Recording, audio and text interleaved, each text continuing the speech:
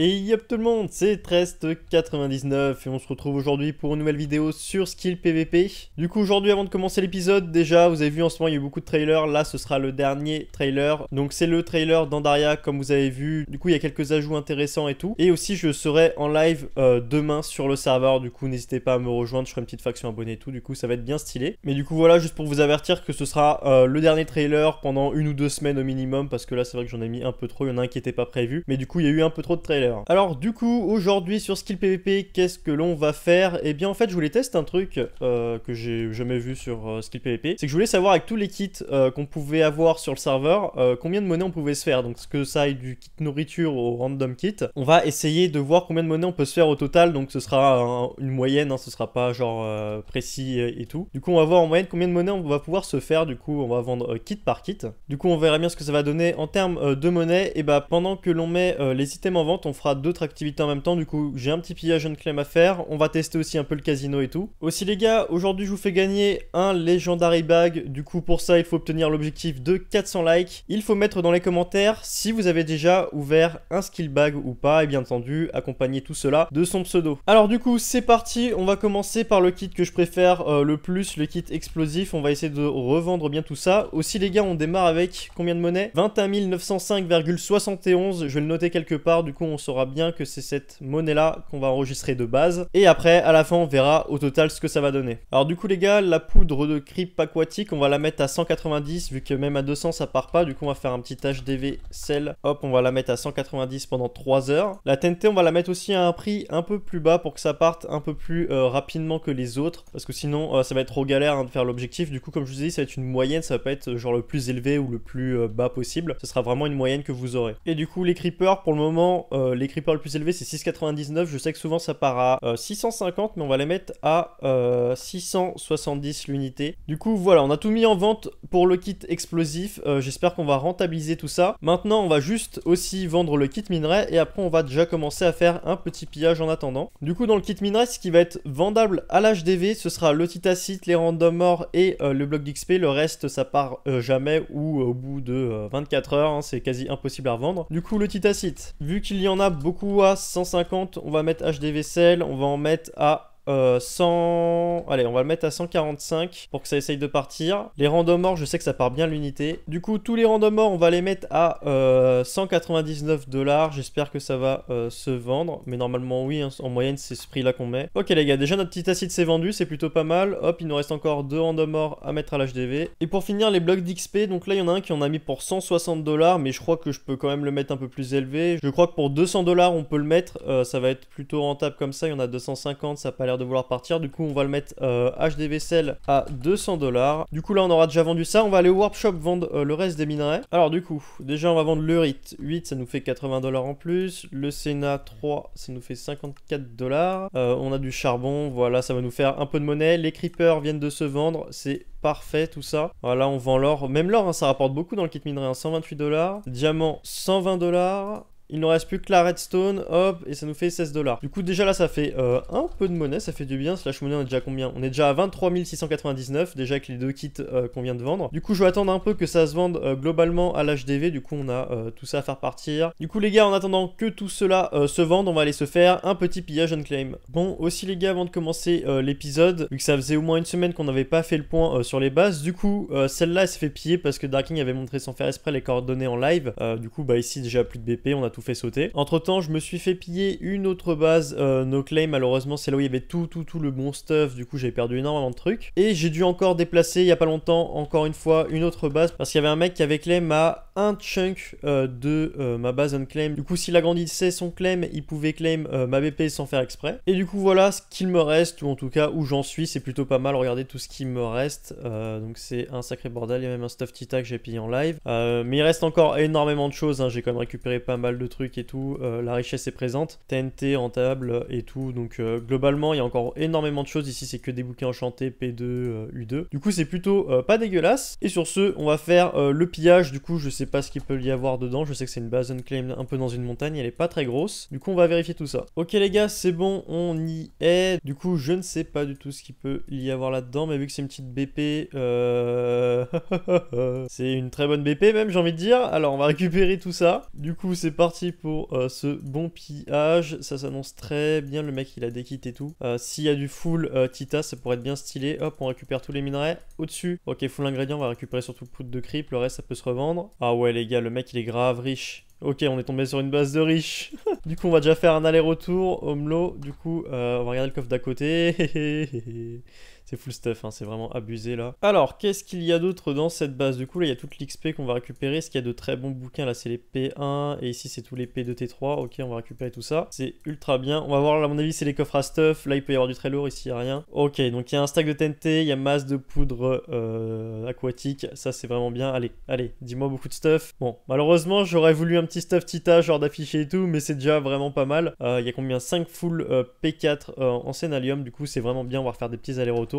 J'ai déjà même plus de place dans mes coffres rangés pour vous dire en termes d'XP et tout. J'espère qu'en termes de stuff, j'aurai assez de place euh, pour tout prendre parce qu'au moins, si tout ça, euh, je l'utilise pas pour PVP, je pourrais l'utiliser pour euh, le trade avec le PNJ en Warzone. Du coup, en tout, un stack de TNT. Soit le mec, ça fait pas longtemps qu'il joue, du coup, il stack ses kits et tout. Je pense que c'est ça parce que là, c'est les kits d'un grade empereur avec tous les kits. Ok, du coup, j'ai récupéré tous les bouquins. Ici, il nous reste l'étiquette TP que je vais prendre, les quelques heals qu'il peut y avoir. Ici, il n'y a plus rien. Il nous reste plus que les ingrédients à prendre on aura terminé ce pillage. Et du coup, c'est bon, j'ai récupéré tout ce que je voulais, le pillage est terminé, donc c'était une petite BP ultra rentable, euh, donc je suis grave content. Aussi les gars, l'HDV, beaucoup de choses sont parties, il ne reste plus que les TNT et un creeper, du coup on va pouvoir euh, vendre encore d'autres kits et on va faire ça bah, juste après que j'ai ramassé les coffres en mété. Alors du coup là, en revente, on va déjà faire le kit druide. Euh, pourquoi faire le kit druide directement? Parce que dans le kit druide, il n'y a rien qui part à l'HDV à part peut-être les Netherwart, mais ça part ultra lentement et tout le reste, bah c'est trop compliqué. À part la poudre de creep qui peut peut-être partir. On va mettre la poudre de creep à 100 dollars, on va voir si ça part, c'est toujours plus rentable euh, HDV. On va tester ça, mais le reste, euh, tout va se revendre ici. Du coup, ça, hop, ça se revend là, 16 dollars. Donc normalement, ça va pas nous faire euh, beaucoup de monnaie. Et je préfère revendre ici qu'attendre euh, pendant trop longtemps l'HDV. Donc je pense que c'est plus rentable de vendre à la boutique, enfin en termes de,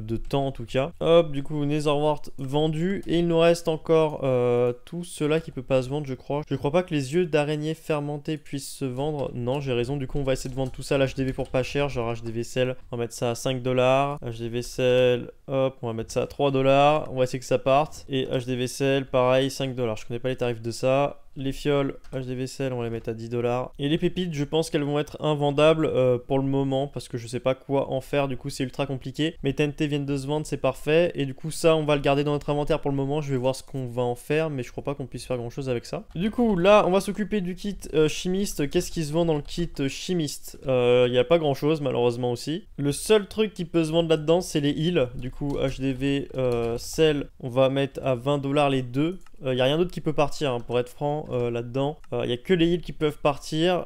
Peut-être la régène, on va le mettre à 10 dollars les régènes. mais le reste, je sais que ça part, en tout cas, jamais. Les régènes, on va essayer de les mettre à 10 dollars, on sait jamais. Les heals, ça part rapidement. Les régènes, on va les mettre à 10 dollars. Et le reste des potions, allez, on va tout mettre à 3 dollars, on sait jamais si ça veut partir. Hop, ça fait toujours un peu de monnaie. On essaye de gratter la monnaie, hein, parce que je sais pas ce que ça vaut. Et vous savez quoi, les pépites, on va les mettre à 1 dollar. Alors là, il n'y a pas plus bas. Du coup, on va mettre les pépites à 1 dollar. J'espère quand même que ça va s'acheter, vu euh, le tarif ultra bas Du coup, on a masse de bordel maintenant à l'HDV. Du coup, maintenant, on va faire le kit Hop, du coup, dans le kit Explo, qu'est-ce qu'il vend euh, Les potions de no fall se vendent. Euh, les potions de speed, ça peut se vendre aussi. Allez, on va les mettre à 3 dollars. Peut-être que ça peut partir. Non, quoique ça part pas à cause des joints, de ce que je m'en souviens en tout cas. Du coup, les potions de no fall, on va les mettre à 5 dollars l'unité. Je connais pas les tarifs non plus. Par contre, les Underpearls, c'est ce qu'il y a de plus rentable. Normalement, ça va partir euh, très rapidement sur le MA 950. Du coup, comme je vous ai dit, je vais pas mettre non plus les prix les plus élevés. Je veux vraiment que ça parte assez rapidement. À 950 dollars, les 16 euh, Underpearls, et eh bien, euh, bah, ça part déjà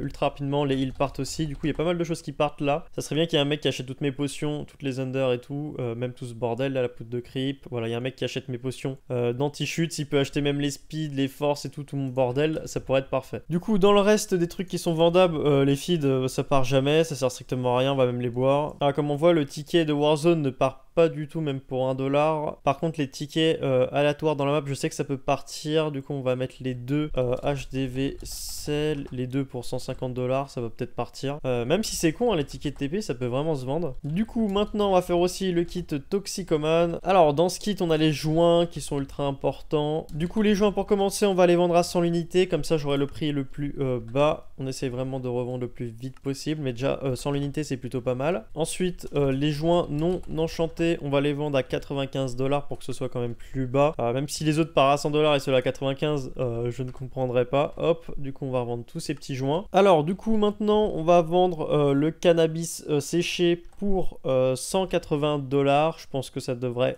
partir. Et les graines de cannabis, je sais pas combien ça part, surtout qu'il n'y en a pas beaucoup à l'HDV. Du coup on va mettre les 6 graines de cannabis à 200 dollars vu que je connais pas trop leur valeur, mais je pense que 200 dollars c'est environ ça les tarifs, même si je m'y connais pas du tout. Du coup là, je vais faire un dernier kit qui est le kit bâtisseur. Après, on va changer un peu, on va faire un peu de casino parce que là, juste faire de la revente au bout d'un moment, c'est un peu chiant. Alors du coup, pour le kit bâtisseur, déjà dans le slash poubelle, on va déjà pouvoir mettre tout euh, ça. Personne l'utilise, tout le monde s'en fout. Du coup, on peut déjà mettre tout ça à la poubelle. Après, la space obsidienne et l'opsi, ça part à un bon tarif. Alors l'opsi, on va le mettre à 139 l'unité. Euh, comme ça, on aura le prix encore une fois le plus bas. Les 32 pierres de mété, on va les mettre à 230 euh, dollars et la Space Obsidian, c'est ce qui parle le mieux vu que c'est le bloc anti-Crashco. Et les deux Space Obsidian, on va les vendre à 300 dollars. Je suis pas sûr que ça va partir vu qu'il y a moins cher, mais vu que euh, voilà, il y en a que deux. Bon, du coup, on va stopper un peu pour la vente pour le moment, le temps que ça parte à l'HDV. Et on va aller se faire un petit casino et on va voir ce que l'on peut gagner. Du coup, c'est parti pour le casino. Vous devez savoir qu'il a été ouvert il y a pas très longtemps. Il y a une grosse mise à jour par rapport à ça. Et du coup, euh, dans le casino, pour le moment, il y a juste le pierre feuille ciseaux. Je sais pas s'ils vont rajouter d'autres trucs, mais on va tester tout ça. Du coup, comme vous le savez, vu que je suis fan de creeper, on va essayer de faire genre 2-3 petits euh, pierre feuille ciseaux et on va voir ce que l'on peut gagner ou ce que l'on peut perdre. Alors du coup c'est parti, on va jouer contre Tigre PVP, euh, du coup on va tester un peu tout ça. Et euh, je pense qu'on va pas mettre toutes les parties qui gagnent, qui perdent, on va juste mettre la dernière si je gagne ou si je perds. Ok du coup les gars on a déjà gagné les deux premières manches, j'ai fait deux fois feuille, lui il a fait pierre, du coup là je pense qu'il va faire ciseaux, on va faire pierre. Et non malheureusement il a fait feuille,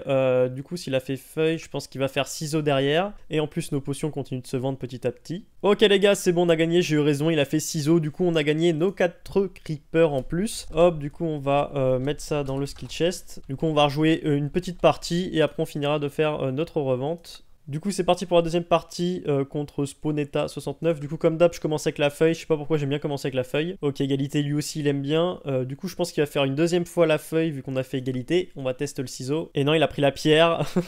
ok du coup deux partout c'est ultra serré. Le dernier je pense qu'il va refaire le caillou, je suis pas sûr, je stresse, mais je pense qu'il va reprendre le caillou. Égalité, c'est stressant. Je pense qu'il va reprendre la feuille parce qu'il a fait la stratégie tout à l'heure de reprendre la feuille, du coup on va prendre le ciseau. Et eh bah bien joué de sa part, il a pris le caillou, j'aurais dû rester sur la feuille. Du coup voilà, le jeu il est plutôt sympathique, du coup bah là on aura ni gagné ni perdu, hein. j'aurais perdu 4 creepers, j'en aurais gagné 4, du coup ça fait 0. Du coup je ferai une vidéo un peu consacrée à ça où on va essayer vraiment de faire des gros gros gros paris, genre euh, mettre euh, des space, euh, même des legendary bags ou genre de trucs. J'essaierai de trouver des items à mettre en tout cas pour jouer au jeu pour vraiment que ce soit un peu euh, sous pression. Et du coup, on va finir l'épisode avec euh, ce qui reste en vente. Du coup, il nous reste quoi? Il nous reste le kit Skill Friend, le kit Gladiateur, l'Enchanteur, le Random Kit et le Nourriture. Bon, le Nourriture, on va pas faire grand chose avec. Mais les quatre autres kits, on peut quand même en faire quelque chose. Alors, du coup, j'ai fait mon kit Skill Friend et dedans, déjà, il y a pas mal de choses pour faire de la revente. Ici, euh, dans l'autre kit, le kit Gladiateur, on va déjà slash poubelle le stuff Diams parce que c'est inutile. Du coup, je ne sais pas pourquoi, mais les pommes dorées, ça coûte cher. Du coup, le kit Gladiateur, il est juste bien pour ça parce que là, les pommes dorées, je peux limite les vendre pour 300. Normalement, ça va partir. Le casque en Sénat, on va le mettre à